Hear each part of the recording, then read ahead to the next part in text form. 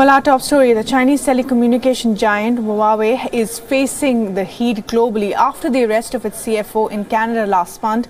Huawei has found itself under extreme scrutiny, especially for its 5G network. Now, America is mounting further pressure. Reports suggest that the Donald Trump administration is pressurizing American allies to bar Huawei and other Chinese technology companies from building their 5G infrastructure. The US is reportedly asking its allies to ban Huawei from building the next generation computer and phone networks. The UK, Poland, and Germany have been asked by the United States to bar China based companies from building 5G networks. Huawei is under mounting international pressure about the security of its technology, even though there is no proof. Huawei is under scrutiny for allegedly using its equipment to provide backdoor access for the Chinese government. Since 2012, Huawei has been barred uh, from selling equipment in the US because of security concerns by the US government. China has responded to these reports and urged the United States to stop what they call irrational behavior. Beijing has urged Washington not to hamper the progress that is being made uh, by the two countries after the trade war. 我们敦促美方停止 对包括华为在内的中国企业的无理打压，为中美企业相互投资。正常合作，提供公平良好的环境，多做有利于中美互信与合作的事情。And China has accused the United States of orchestrating Huawei CFO's arrest in Canada. Uh, it continued to maintain the narrative and urged Canada to take the right decision on Meng Wanzhou's case.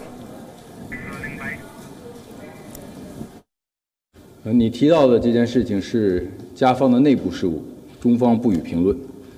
我这里要指出的是，孟晚舟的事件绝非一件单纯的司法案件，背后有很强的政治企图和政治操弄。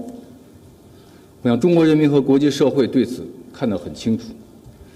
这次我我们在这里，我们要再次敦促加方做出正确的抉择。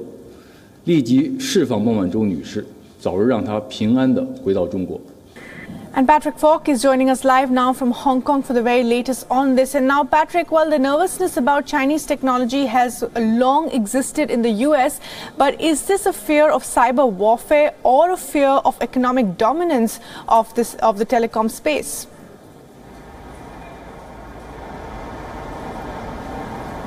Uh, in Beijing, in fact. Uh, but I think to answer your question, I think it's very clear that it's a little bit of both. And uh, to answer exactly why, you have to understand uh, the capacity of 5G and the importance of it. And uh, controlling 5G networks really means having control of an entire ecosystem. It's been described uh, by one analyst, at least, as being almost as important as electricity. And the fears are in the US that if uh, China dominates 5G networks, then it will uh, have control of an entire uh, ecosystem, an entire nervous uh, system. Uh, and as we know, that is going to be critical in an age where it will have control of uh, all data transfer and transfer of information. And we know already that uh, Donald Trump has made it clear that uh, he sees it as being a little bit of both, and the two are very closely tied together. Uh, so, on one hand, he wants to balance trade and uh, dominate. Uh, or for the US at least, uh, leads the world economically. But this is also, in his view, about putting a, a check on China's military power. And this isn't lost on uh, China either. Only uh, about a week ago, we learned from reports that uh, China, for the first time, has uh, its uh, its uh, land power, its army, effectively, is no longer uh, more than half the size of its overall uh, security forces, and so that its that its that its cyber security plays a much more prominent part of its national defences than ever before. the question is whether or not what the US is doing is right and fair. Right. Right. And Patrick, then that of course brings us to the second question. And the US is known to push other nations as well. And are they going to uh, follow suit and risk, well, inflaming China, which could hamper their own access to the growing Chinese market and deprive them of cheaper Huawei products as well?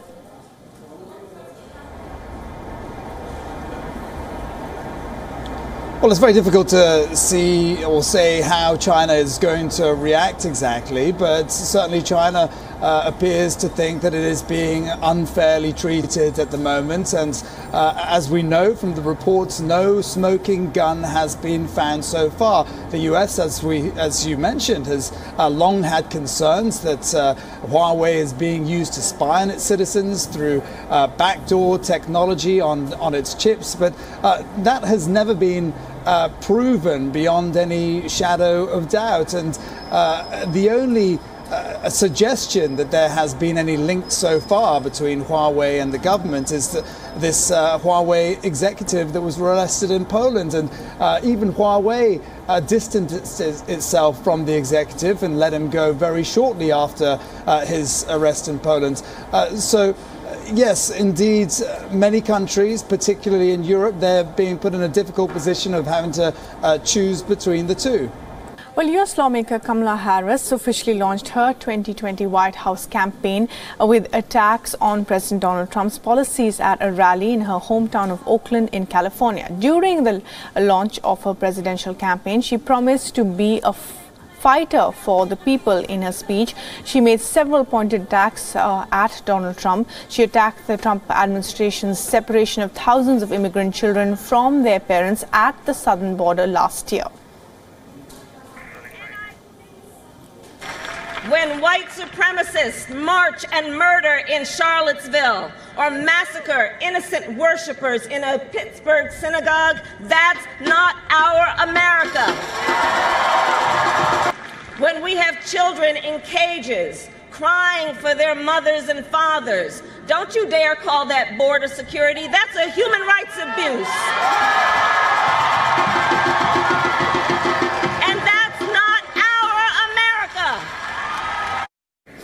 Harris slammed President Trump, saying that American democracy was under attack like never before. Listen in. We are here because the American dream and our American democracy are under attack and on the line like never before. And let's speak truth. Under this administration, America's position in the world has never been weaker. Kamala Harris has been a fierce critic of the U.S. president and has time and again questioned Trump's leadership abilities. For many, she represents the perfect anti-Trump candidate, progressive and a representative of America's diverse culture. Her announcement has renewed hope in the African American and Indian American communities in the U.S.